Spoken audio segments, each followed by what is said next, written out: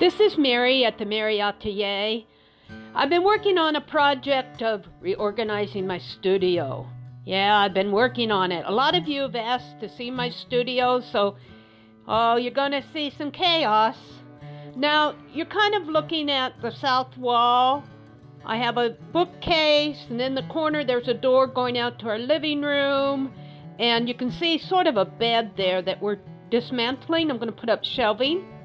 Here's another view looking to the west. You can see that bed is completely out of the room now. I'm going to put up some shelves there.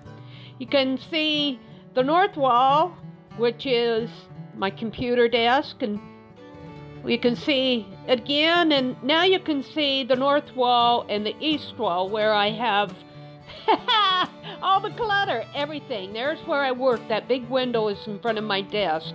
Off to the side there was a closet area.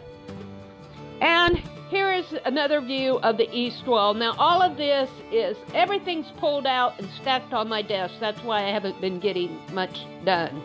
So I'm going to clean it all up so that I can do some more live sessions.